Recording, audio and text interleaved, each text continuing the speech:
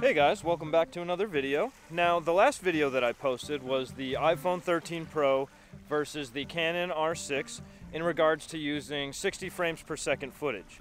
And I got a lot of flack from it, to be honest with you, and I was surprised. It was funny. Um, it seemed like a lot of the people on the um, R6 forums that I posted on seemed a little bit, you know, upset that I would even compare the two of them and that they were just a little bit upset, it seemed like. And one of the weird things was, one of the big things they complained about was the fact that I didn't make the video in 60 frames per second. They were upset that it was a 24 frames per second video and that I had then used the 60 frames per second footage and slowed it down to 40% to make it match that 24 frames per second timeline.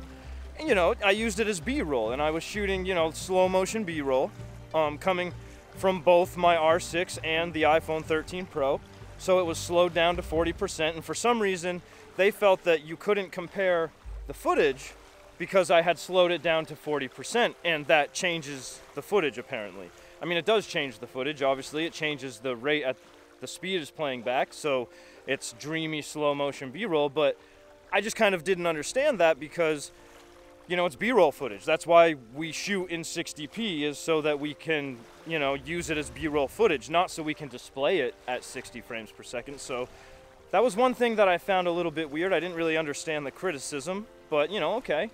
Um, but the other thing was that people were very upset that I didn't really push the limitations of the iPhone. And I guess that is more, you know, a criticism that I can understand because what I did was I was out shooting a waterfall where there was really good light. So yeah, the sensor wasn't being pushed, you know, to the point where you would see a lot of noise coming out of it, where, you know, obviously that's where a full frame sensor is going to surpass the abilities of the iPhone. So I do understand that criticism a little bit more, but, you know, I, it, was, it was just surprising to me how upset the uh, R6 community or the photography community seemed to be by this video. So what I'm gonna do now is I'm going to try to make a better video that'll hopefully make them a little more happy, right? So what I'm gonna do is uh, basically the same thing. Now I'm still going to shoot at 60p. I'm still going to slow it down to 40% because I will still be shooting like I do with all of my videos, 24 frames per second, like I am right now. And the timeline will be 24 frames per second, so the 60p footage that you will be viewing will be slowed down to 40% to match the frame rate in my timeline. But what we're going to do is find some more dynamic kind of scenes or maybe some more low light scenes so that I'm really pushing the ISO a little bit higher. And let's see how the iPhone footage holds up with the R6 in a higher ISO scenario. Alright guys, so found another place to do a little test with the iPhone 13 Pro and the Canon R6. So it's a misty little morning out here on Crystal Lake, so the lighting's not that good. So let's go outside and we're going to record the mountains with all the fog and the mist and see how the R6 and the iPhone 13 Pro perform.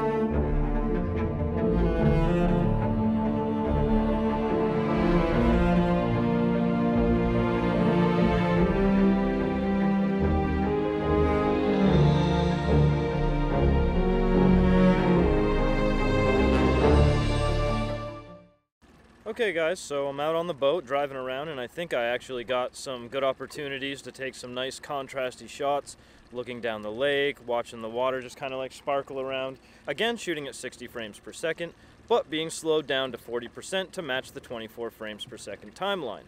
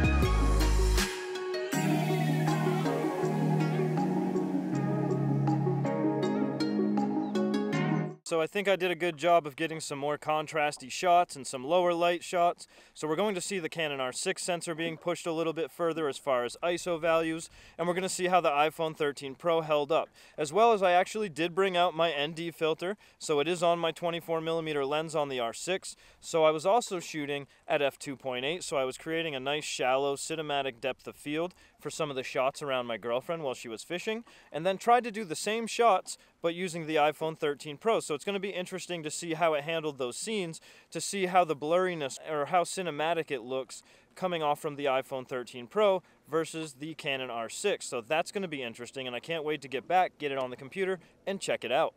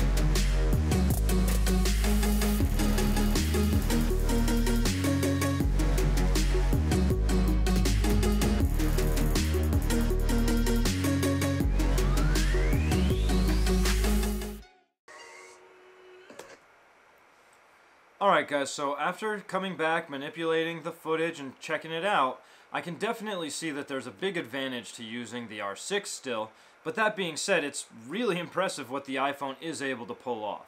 Now, when I went out there in the mist and the rain, where the conditions were less favorable, that's where you started to see the iPhone really struggle. One, it really struggled with the white balance. It seemed to shift the colors over to the green or yellows and it just wasn't retaining any of the really pretty oranges that were there in real life that the Canon R6 was able to retain. Now, some of that's due to the fact that when you're looking at the footage from the iPhone 13 Pro, that's just straight up what's coming out of the iPhone. And what I mean by that is I just pointed, shot the image, and I took that footage out and put it there, and that's what you're seeing.